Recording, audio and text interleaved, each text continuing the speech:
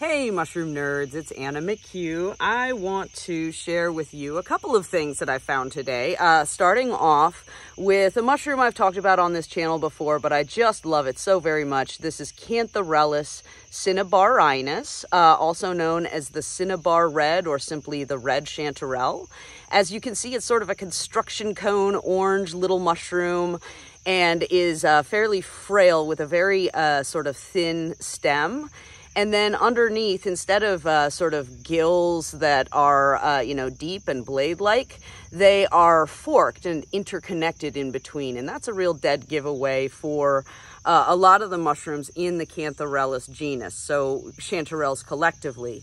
What makes Cantharellus uh, cinnabarinus kind of unusual is, again, its diminutive size. And also, when you open it up, uh, you'll see that the mushroom itself is really quite, uh, you know, thin and dainty on the inside. And it's sort of a pale color, but it's a little orangey.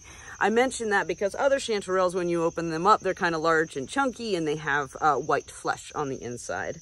But you'll find these mushrooms, uh, you know, growing in patches of uh, moss in particular. It's really beautiful. They are edible. They do need to be cooked. And I want to talk about, uh, you know, edibility and cooking mushrooms in just a moment and why you should do that and all the things. Uh, but, you know, you have to collect a good number of them and they do cook down and lose a little bit of their mass. Uh, but nonetheless, you know, it's a really nice species to find. And my main thing about them, again, is their propensity for growing in really delightful, sort of vibrantly colored mosses. Uh, and that, that contrast is really nice. And they're, you know, very flowery appearing. And so I, I just love finding this mushroom. Uh, the other thing that I want to highlight about Cantharellus cinnabarinus is uh, it is one of our chanterelles that has a longer fruiting season than some of our larger sort of golden colored chanterelle mushrooms. So if you're familiar with chanterelle hunting in the eastern United States, it is sort of a like summertime affair. And here in the Raleigh area where I live, uh, the height of chanterelle season is typically like mid-July or so. But uh, Cantharellus cinnabarinus uh, really just seems to fruit for a longer period of time. And, you know, they're very small mushrooms, as you can see. They never get really large, like the one I was just throwing around is about the, you know, a little bit larger than the size of my thumb. And that's about the largest that you ever see them. And, uh, you know, nonetheless, you'll see uh, the kind of like a few times throughout the year. So this area I spend a lot of time in. And, and one of my favorite things about it is that I get to uh, you know, look at mushrooms year after year and kind of see what that organism is doing. And so, for instance, this particular critter, uh, I've seen this is the uh, second fruiting this year that I have observed. And so, you know, it's really clear that at least, I mean, it may not be the exact same individual mycelium, but that particular area is like three or four feet. Uh, you get a couple of different flushes throughout the year. So, um, you know, that's a mushroom to look out for. It won't persist long into the fall. Like chanterelles really start to taper off and like fall is, is, uh, an event of its own and a whole lot of new and interesting species uh, start to come out that uh, just don't fancy the hot weather. Uh, but nonetheless, chanterelle season is also something we kind of have to say goodbye to as soon as the weather starts to turn. So uh, I wanted to talk to you about um, cooking mushrooms and why you should do that. Before I do, I'm going to share with you a beautiful little specimen of a Ramaria mushroom. So, excuse me, uh, the sort of really broad common name for this would be a coral mushroom. And Ramaria is a genus that contains a lot of species. I'm no good at them. And so I'm usually just like, ah, it's Ramaria. And the way that you can tell this uh, is a Ramaria is, well, first of all, it looks like a coral. But there are other genera of mushrooms that look like coral. So we have uh, the edible Artomyces uh. We have Clavularia and Clavulina and Lentaria and like all kinds of genera of other sort of coral looking mushrooms. But as luck would have it, Ramaria is the one that grows from the ground and is very, very fleshy uh, by way of comparison. So a lot of those other things I was just mentioning uh, they are more slender. Also, when you pay, take them apart, they tend to be more fibrous and dry. Like even the edible Artomyces pyxidatus, which is one of my favorite edi edible mushrooms that I've made, I think, a couple of videos about. Even that one is not fleshy by way of uh, comparison with Ramaria.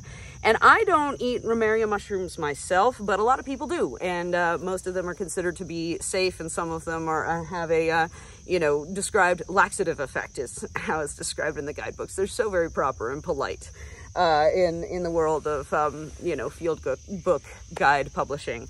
But uh, you know, regardless of that, it is very important uh, to cook. You know, Ramaria mushrooms to cook your chanterelle mushrooms. Basically, uh, there are only a few mushrooms that I know by name that I will eat uncooked. And there are a couple of reasons for this. So I break those reasons into three categories. First is safety. Second is nutrition. And third is enjoyment.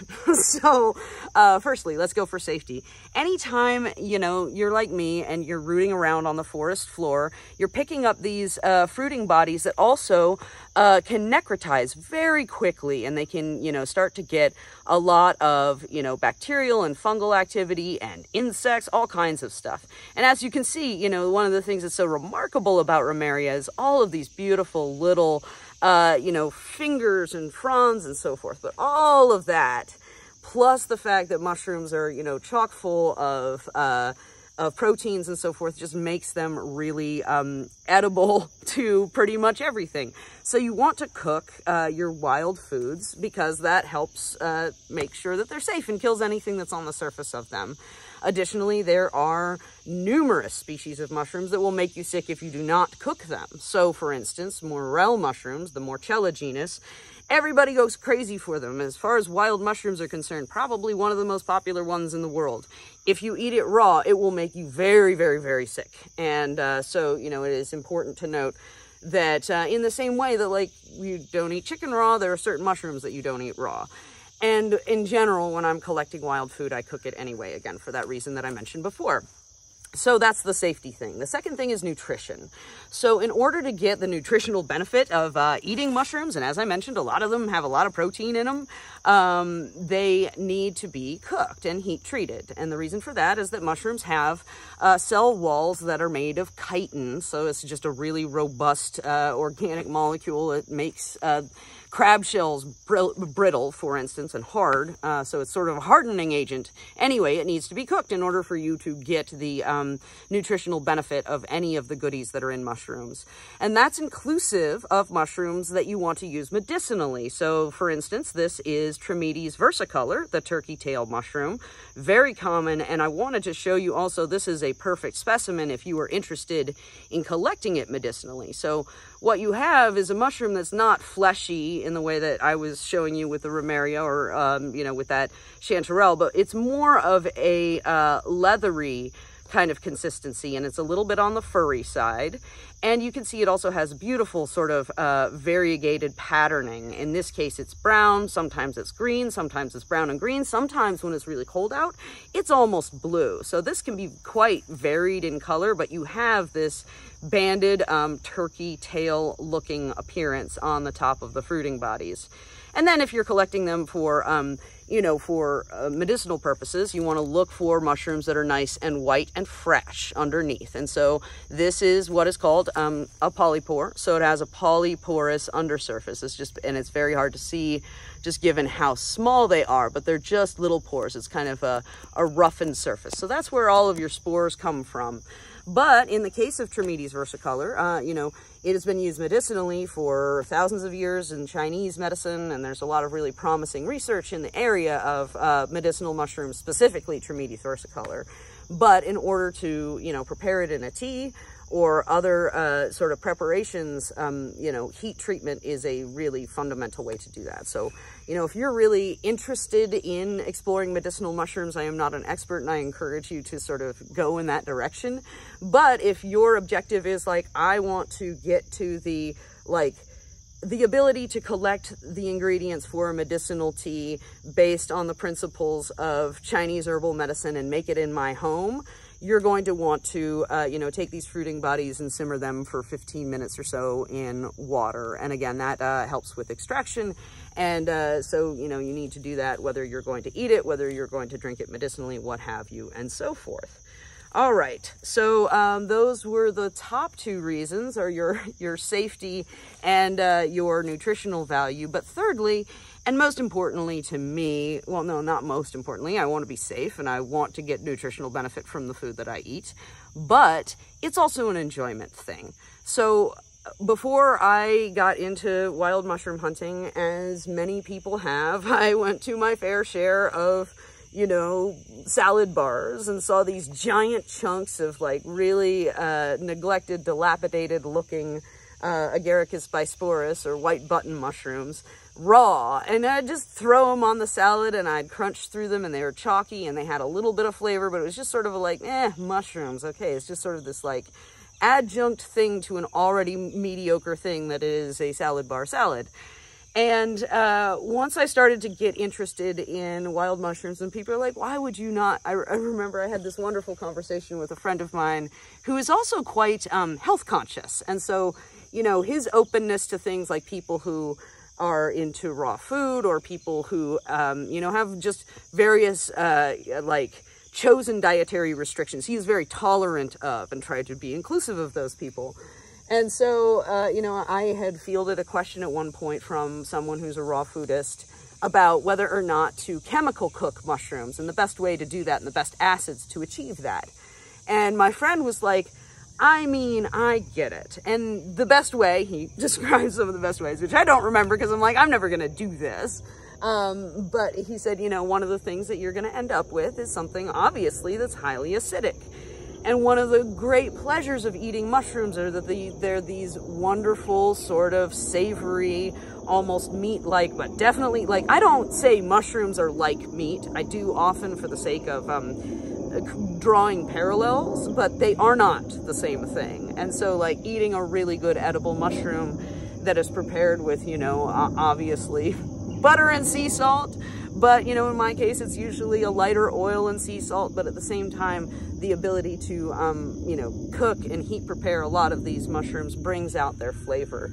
And to that point, the white button mushroom is much maligned, in my opinion. I buy Baby Bellas and I enjoy, you know, cooking them thoroughly and they have that really nice mushroominess that uh, really can only be achieved, you know, through cooking them.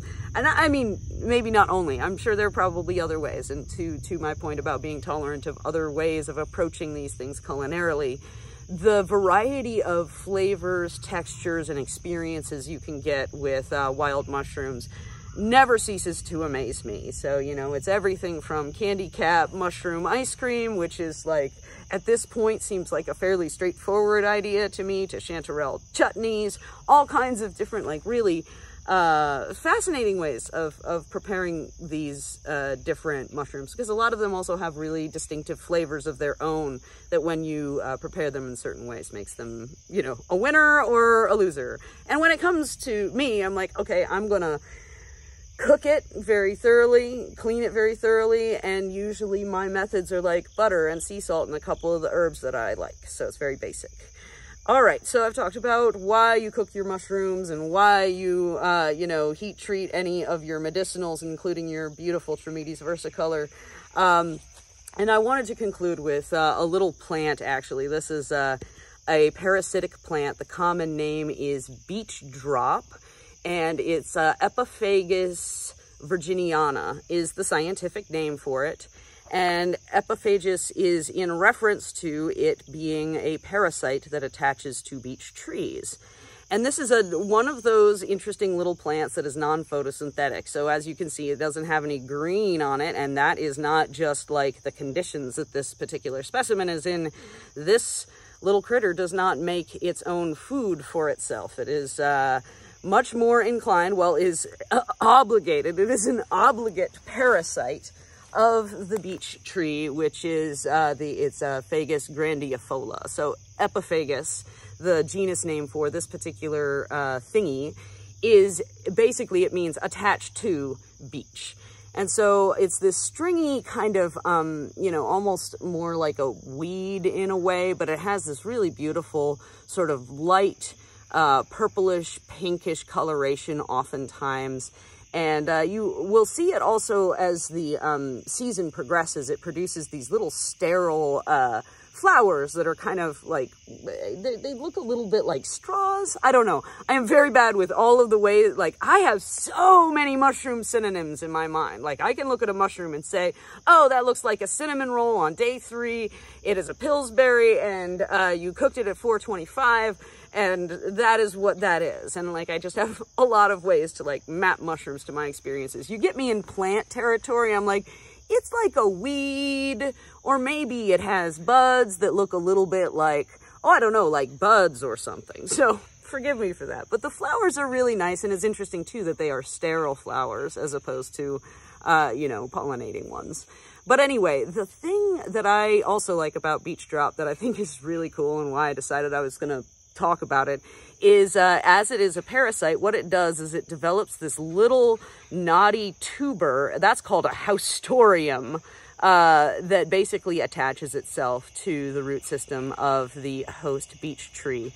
And oftentimes when you see this little plant like this one, I just reached down to, to, you know, boop it and it just fell over and this popped out of the ground. So they're very, uh, you know, oftentimes very delicate and very loosely moored. But this uh, haustorium thing is just really neat, and it's, it's kind of a way that um, different plants and organisms sort of build the structures that uh, allow them to attach to hosts or symbiotes. Um, anyway, again, like I am starting to uh, drift in the direction of learning more about plants, but as it has taken me many, many years to even get my basics on uh, mushroom biology, I would imagine plants will take me just as long, if not longer, uh, given the fact that a lot of the foundational knowledge that I would need of like, for instance, basic synonyms or basic terminology are uh, at this point lacking. But anyway, I really uh, hope that you're enjoying the beginning of the fall and I hope it comes to you soon if it hasn't arrived yet. I hope we get the rains that we need so I can share lots of cool mushrooms with you. But in the meantime, stay well and get out in the woods as often as you can. It is just the best thing you can do with your time.